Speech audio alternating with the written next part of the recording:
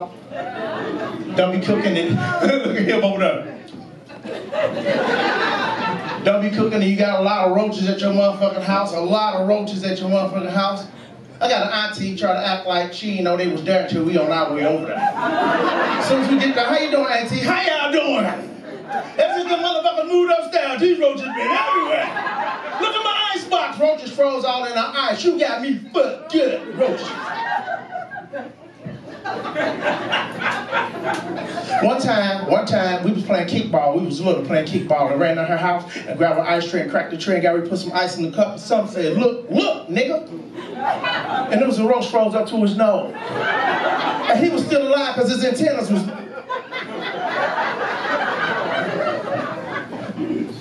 Y'all know I'm goofy, so I made a song up about it. Y'all want to hear it? Y'all do? Okay, okay. Uh, when you get the rhythm, you know what I'm saying, do it. White people follow the black people with this, because I don't want you. Y'all just fuck shit up for me.